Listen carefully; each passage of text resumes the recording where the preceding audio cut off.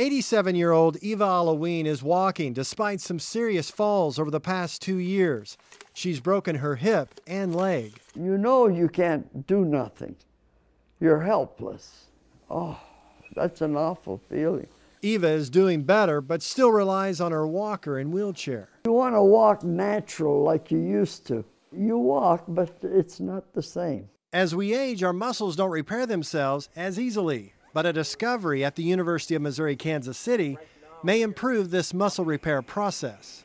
Marco Brotto and his team of researchers discovered a gene that's responsible for repairing damaged muscle fibers.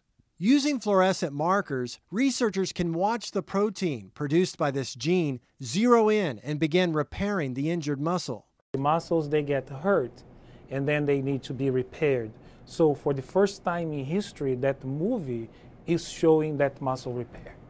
UMKC researchers say the discovery could open the door to new treatments, improving the quality of life for the elderly, cardiac patients, and people with muscular dystrophy. What we think is these people have less of this gene, less of this protein, or they are not working as well.